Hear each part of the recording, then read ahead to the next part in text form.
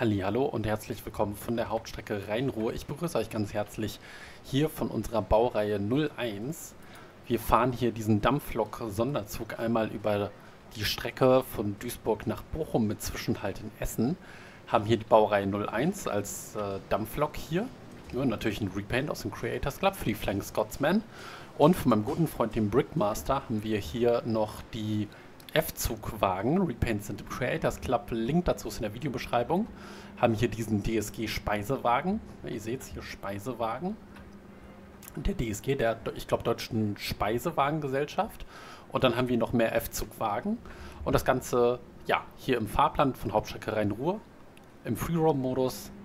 Und ich würde sagen, wir setzen uns in unsere Lok und fahren los. So, hier angekommen können wir erstmal die Türen auf der rechten Seite freigeben. Ich weiß gar nicht, ob das funktioniert. Vermutlich nicht, aber gut, dann ist das so. Ah, hier haben wir auch noch die roten Lichter an. Wir gehen mal hier mal ganz kurz so die Türen frei. So, AWS lassen wir natürlich aus. PZB und LZB und sowas haben wir hier nicht im Führerstand. Wir können einmal, ja die Tür ist zu, wir können mal hier reingucken, aber hier passt soweit, glaube ich, alles. Öffnen wir mal die Katzenklappe. Ja, das sieht soweit so gut aus. So. Dann ist die Tür offen. Ja gut, die eine Tür ist offen. Machen wir wieder zu. Und dann würde ich sagen, können wir auch schon losfahren, denn unser Signal zeigt Fahrt dazu erstmal den... Huch, genau, da, dazu erstmal den Richtungsschalter in 75% vorwärts. So, und jetzt langsam den Regler öffnen. Beziehungsweise Bremsen natürlich lösen. Das ist ganz klar. Und jetzt den Regler öffnen.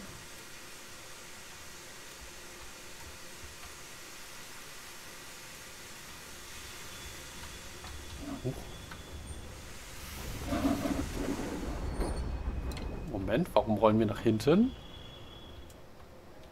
Das ist natürlich nicht gut. Ah gut, ich habe natürlich den Richtungsschalter auf rückwärts gestellt. Kein Wunder, dass wir nach hinten fahren. So, Richtungsschalter natürlich auf vorwärts. Und jetzt lösen wir die Bremsen. Und... Ui. Da drehen uns einmal die Räder durch.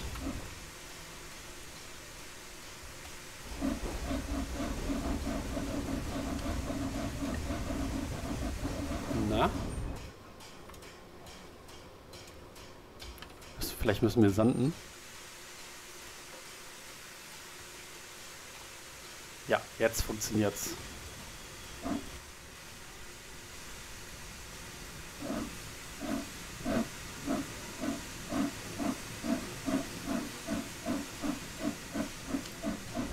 Wir tun natürlich so, als hätten wir eine PZB.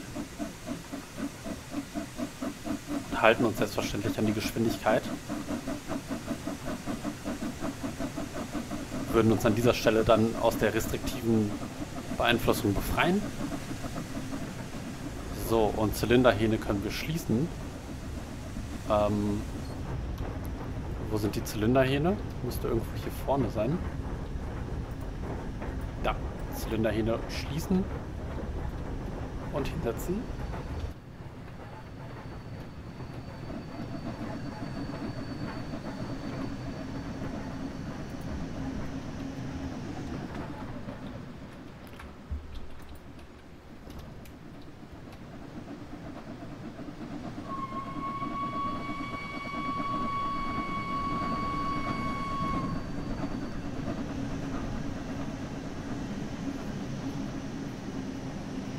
Ist noch hinten mit diesem Speisewagen dran. F-Zugwagen, toll. So, wir müssen mal den Richtungsschalter ein bisschen äh, zurückdrehen.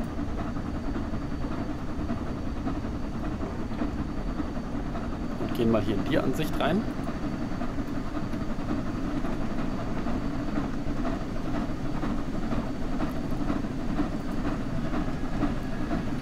Dürften theoretisch schon 50 fahren. Die Flying Scotsman darf 75 Meilen pro Stunde fahren. Das sind, glaube ich, 120 km/h.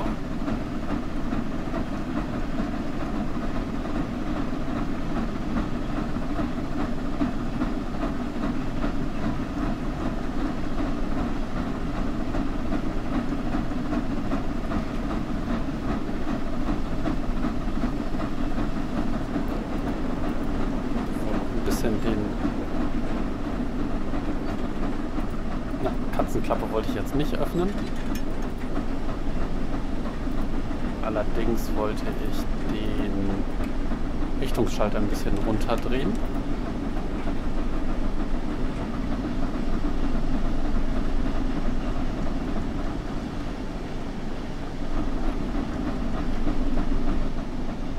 Ja, sehr, sehr, sehr schön hier.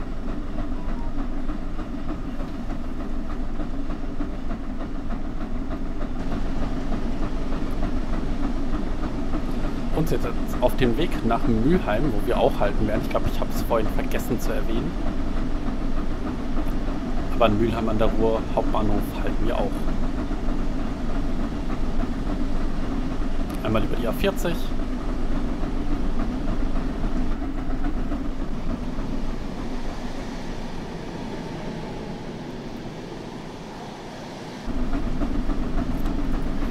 wem das Repaint für die Flying Scotsman ist, da bin ich mir nicht zu 100% sicher. Da gibt es ein paar im Creators Club.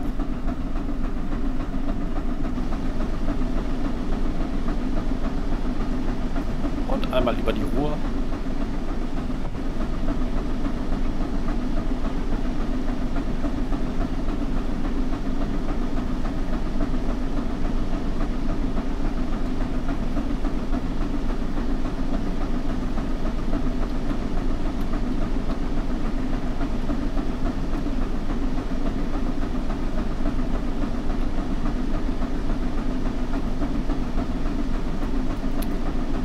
Vorne in der Kurve ist dann Mühl am Hauptbahnhof.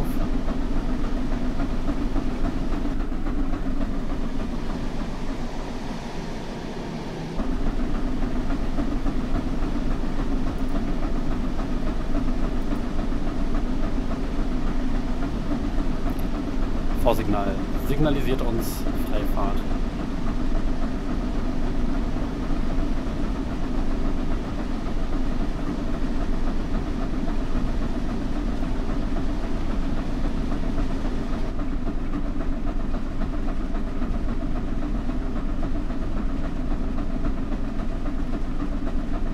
Sehr, schön. Wahnsinn, wie diese Treibstangen hier arbeiten. Das sieht einfach nur toll aus. Sehen Gewicht Lok und Tender, 171 Tonnen. Wasser 34 Kubikmeter. Kohle 10 Tonnen. Knorrbremse. Stängebauart L 1935. Ja. Wahnsinn.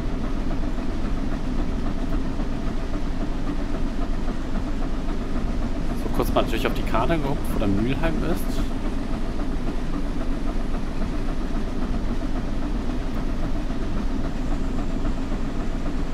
Das müsste dann Styrum sein, glaube ich.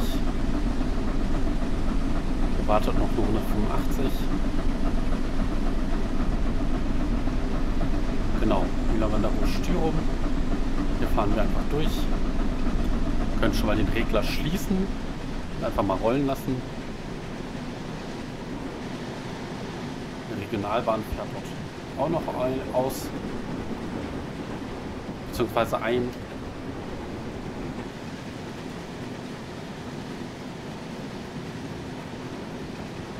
Und hinter dieser Kurve erwartet uns dann Mülheim. Vorher noch Mülheim West. Wo ich glaube kein Zug hält außer die S3.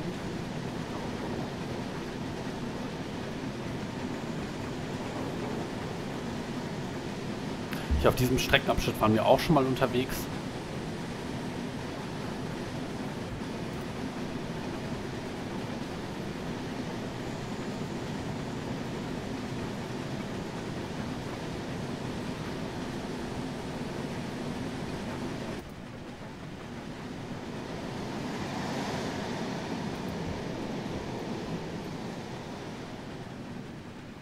Können mal den Zug an uns vorbeifahren lassen. Entschuldigt für die wilde Kamerafahrt.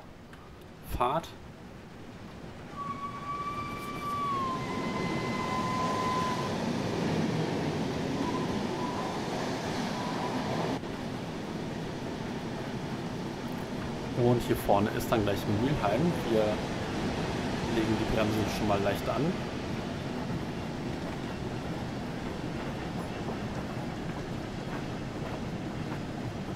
Bremsen gerne wieder lösen.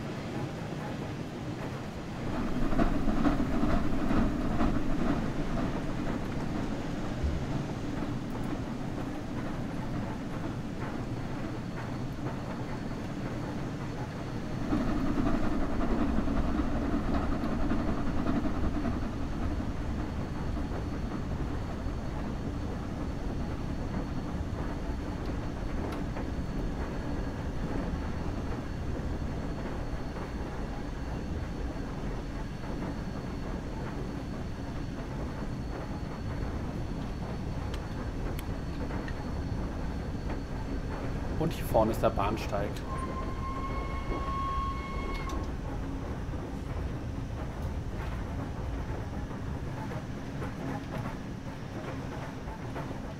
Na, gehen wir doch in die Ansicht.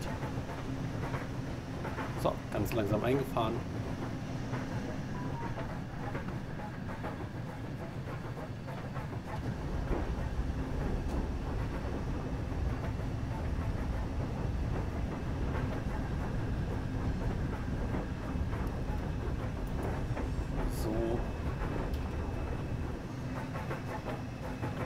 Einmal Vorsicht.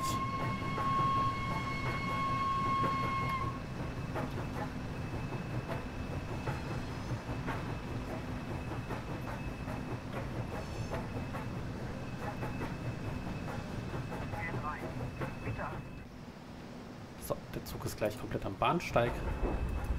Oh, eieiei, die Passagiere sind aber echt nah hier am Bahnsteigsrand. Okay, und wir legen die Bremsen an.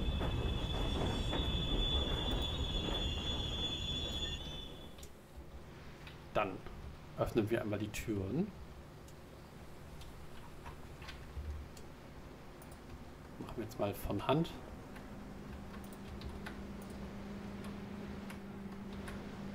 So, die Türen vom Speisewagen bleiben mal zu.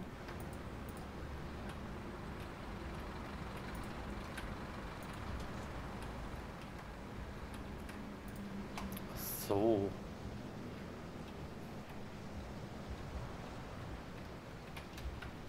Ah, genau, natürlich die Zylinderhähne öffnen.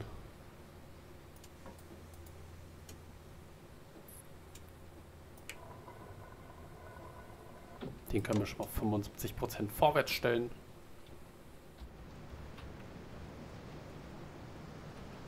Und dann würde ich sagen, ja, jetzt haben die Leute genug geguckt. Die S-Bahn fährt auch schon ein. Wir schließen die Türen. Müssen wir leider von Hand machen.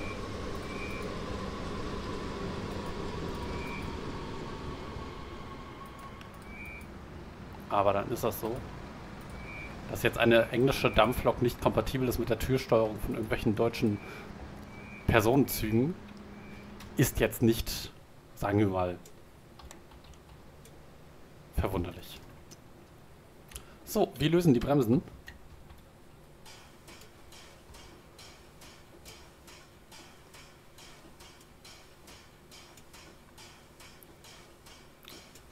Und öffnen langsam den Regler und fahren los.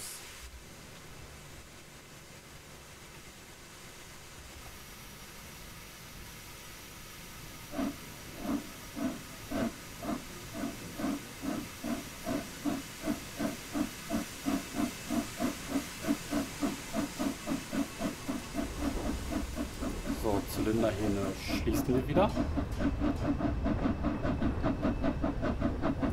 Und mit dem Richtungsschalter gehen wir ganz leicht schon mal zurück.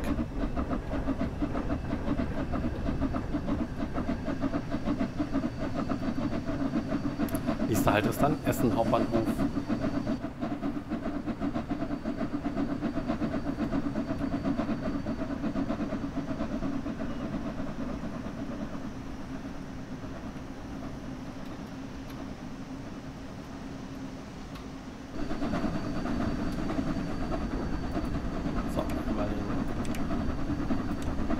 Schalter auf zurück.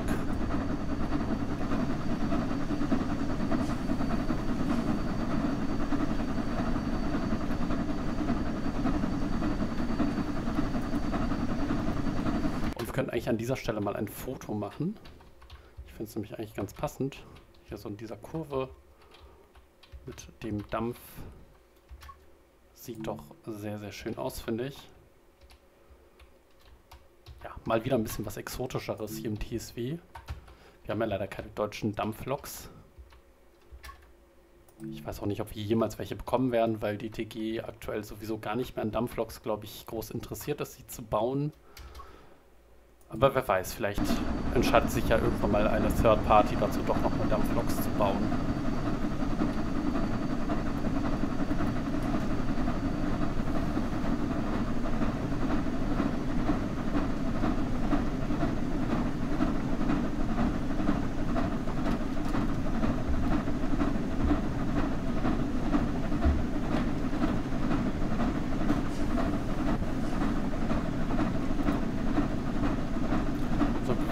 Gerade nicht unbedingt an Fahrt dazu.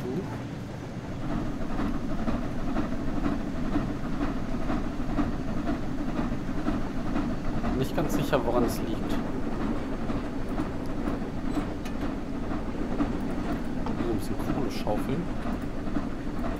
Ich glaube nicht.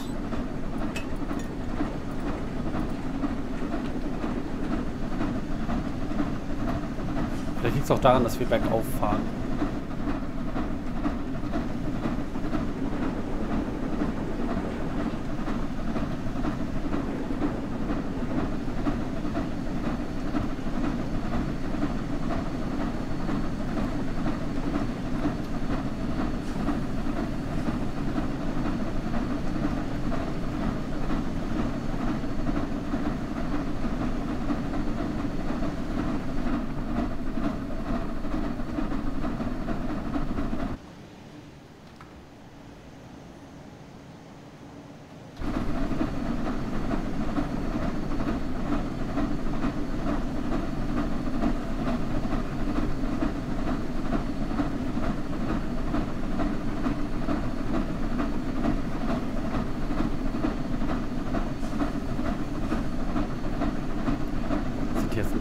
sehr langsam unterwegs.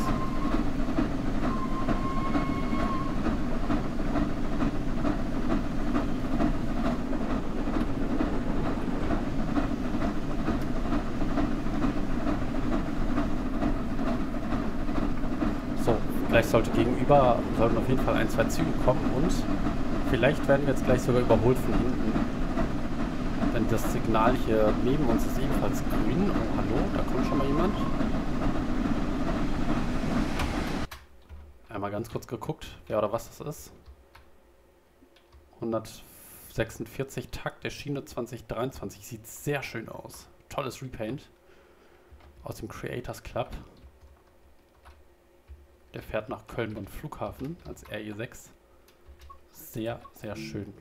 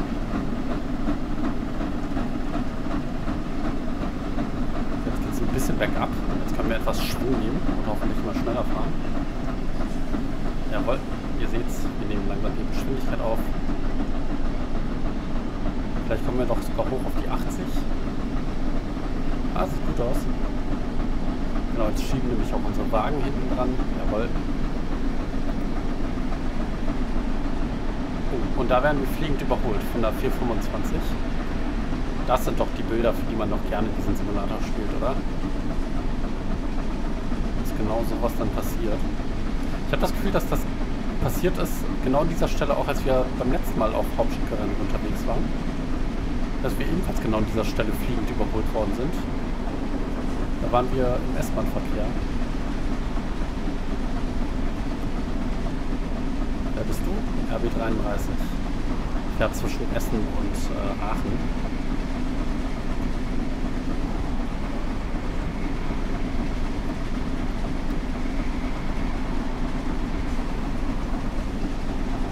Wenn man ganz rauszoomt, dann merkt man erst, wie schnell die fahren. Ne? 100 km/h, was, was das für ein Geschwindigkeitsgefühl ist. Also wenn wir reinzoomen, dann ist das natürlich ein bisschen ja, weniger heftig.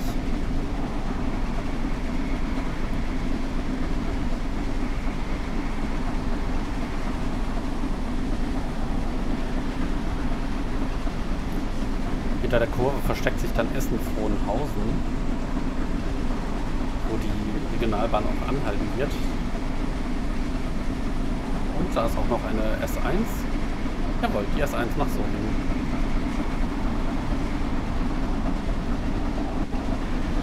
Ah, die Regionalbahn ist weitergefahren. Hat sie doch nicht angehalten. Okay, ich dachte, die RB33 hält in Frohnhausen.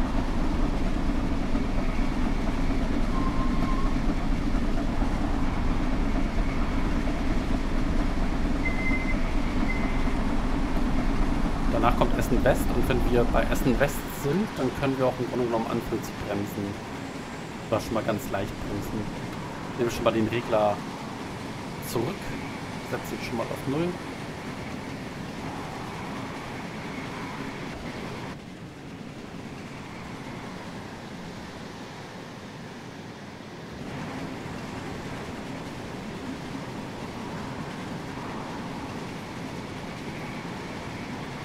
Ist Essen West.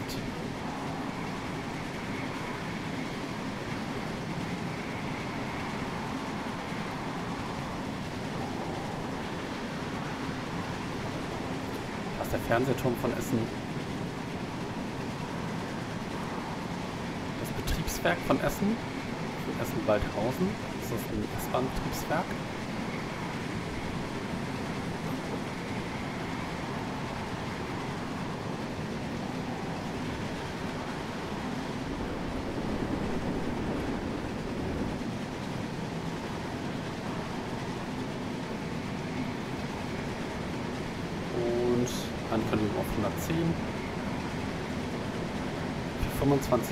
25 hier abgestellt, Doppeltraktion.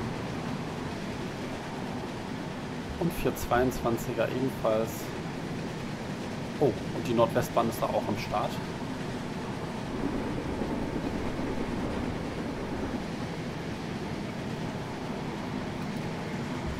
So, und dann sind wir auch schon im Essen Hauptbahnhof. Welches Gleis? Okay, ich glaube, das müsste Gleis 5 sein. Regionalbahn hält Vorder- auf Gleis 8. Kopfgleis. Und wir bremsen langsam rein.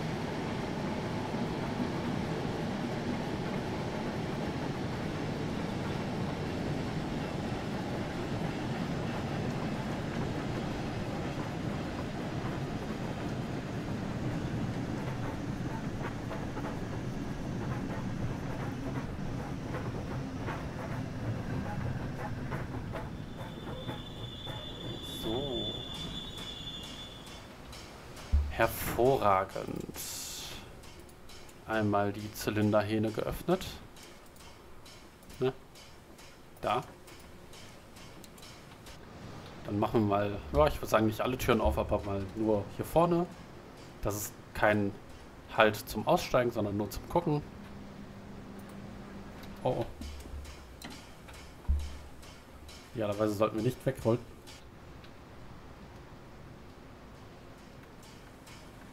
Genau. Türen sind auf. Richtung Schalter nach vorne.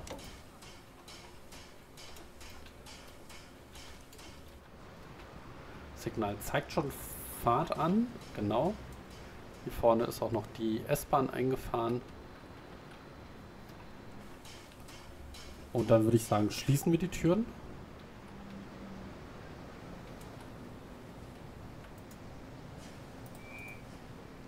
So und so. Lösen die Bremsen.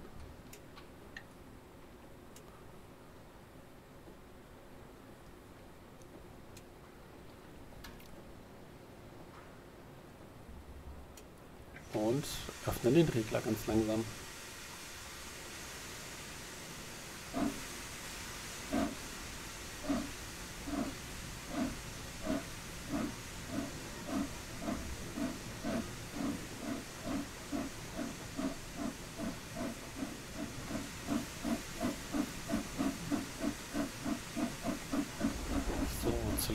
Schließen wir wieder.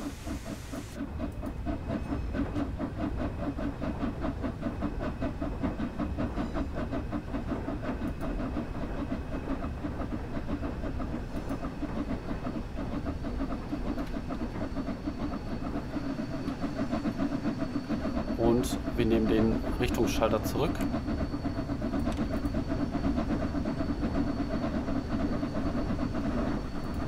ein kleines bisschen.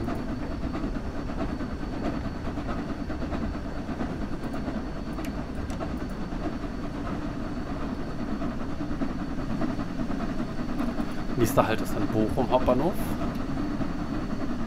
Und bis dahin halten wir dann nicht mehr. Die Zugfahrt geht dann weiter ins ähm, Eisenbahnmuseum Bochum.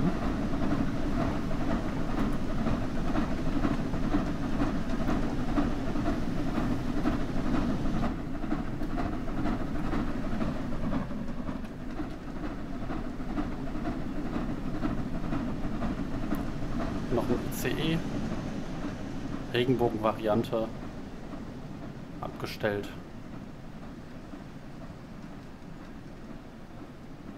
Und da vorne dampfen wir durch die Gegend.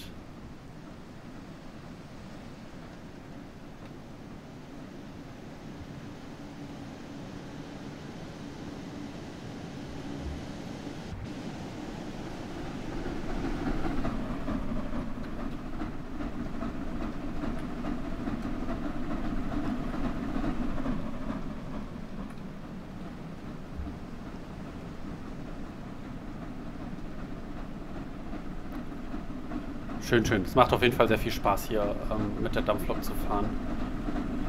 Das ist halt einfach mal was Neues.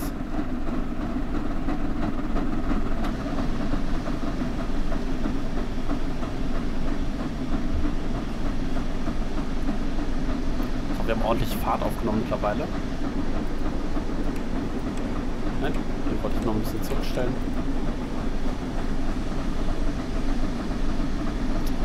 Jawoll und Regner vollständig geöffnet.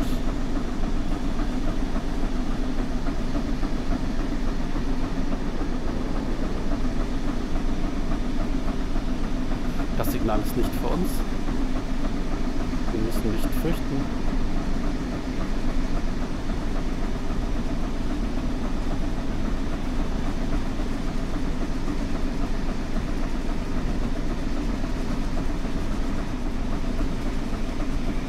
Wagen noch hinten dran. Jawohl. Schön, wie das Ganze hier wackelt.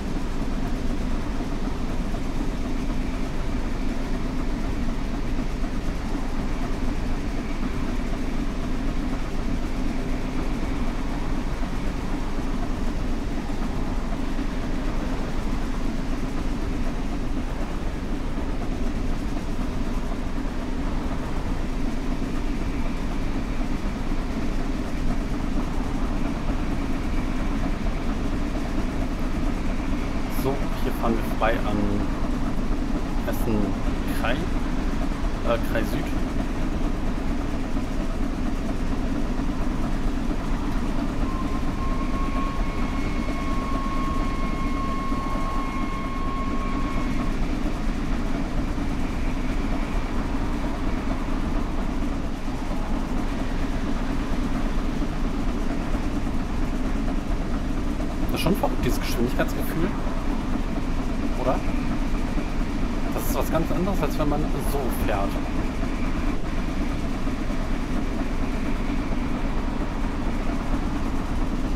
Ne? Also das ist schon ein sehr großer Unterschied.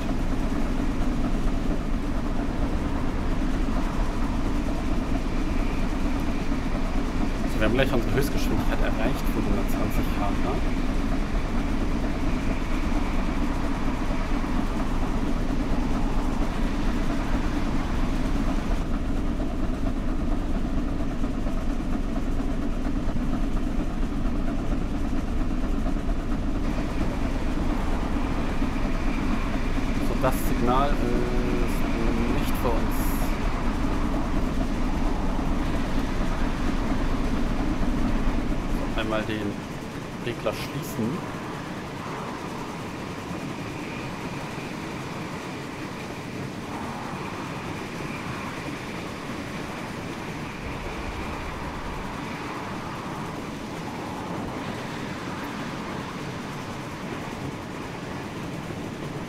Denn wir sind jetzt 120 km/h schnell.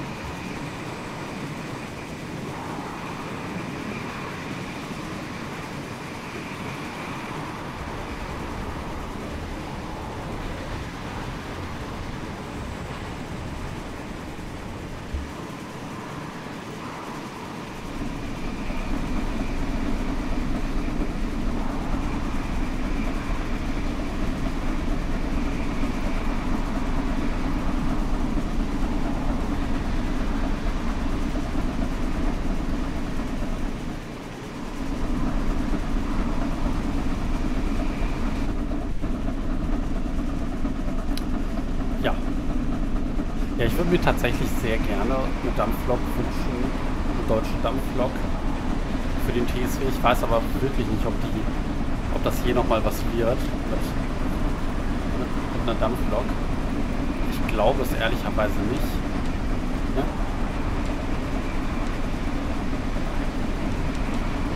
Kriege ich das Fenster nicht gescheit?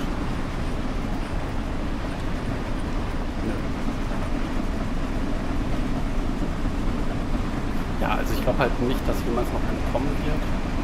Zumindest nicht für die TG.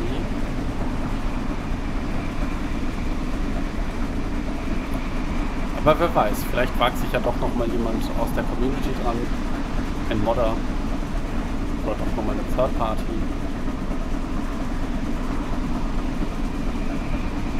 Mal schauen.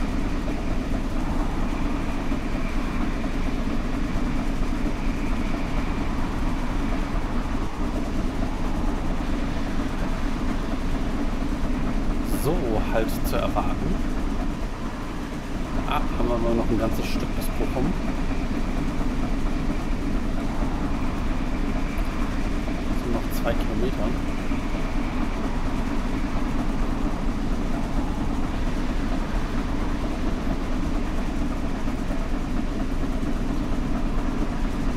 Und an dieser Stelle natürlich PZB wachsam drücken.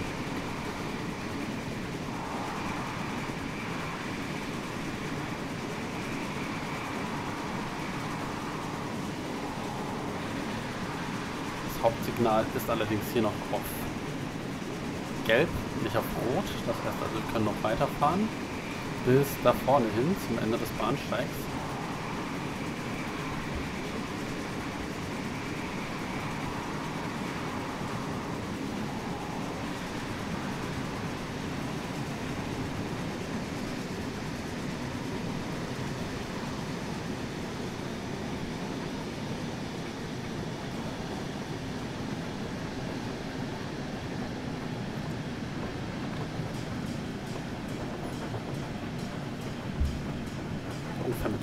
Vom Bahnsteigsanfang.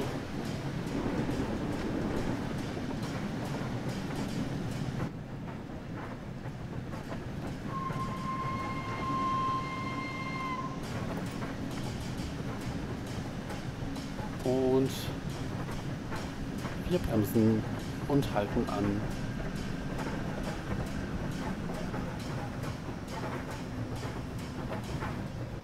Der ganze Zug ist auch schon am Bahnsteig.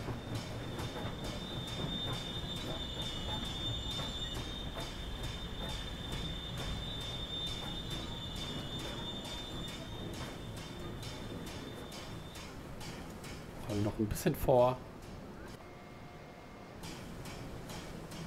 und halten an. Gut. Für uns geht es dann weiter zum Eisenbahnmuseum Bochum. Das mache ich allerdings allein und ohne euch. Ich wünsche euch bis dahin alles Gute und alles Liebe. Links zu den Repents in der Videobeschreibung. Macht das gut. Ciao, ciao.